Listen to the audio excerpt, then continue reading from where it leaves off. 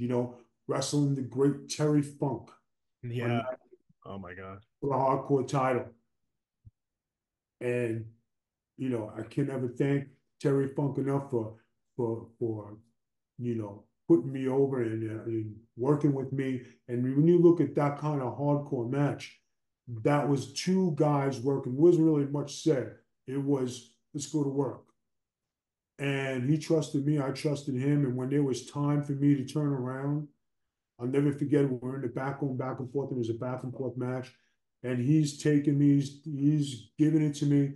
And then as soon as I'm walking up the stairs, I said, "This is your time. You got to do it now." This is in my head, like it was yesterday.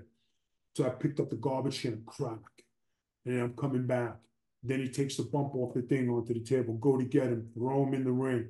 We're going toe to toe, and then all of a sudden I'm pile driving through the through the table, and I win. You know what I mean? Mm-hmm. And I know he's not here no more, and I know I said it a thousand times, but thank you, Terry Funk.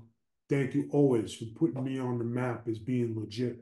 Because when you beat someone like that, or you get to work with somebody like that, and yeah. he hands you the belt, shakes your hand in the ring, I dare anybody to go out there and find a clip of him doing that for anybody. He did it for me. So there was something special about that.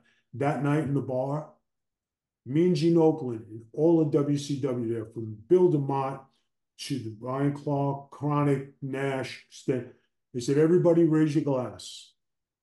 He said, we'd like to congratulate Vito. He finally arrived. And everybody in that bar wow. raised Rewind, recap, relive. For over 50 episodes, the revolutionary force in wrestling interview.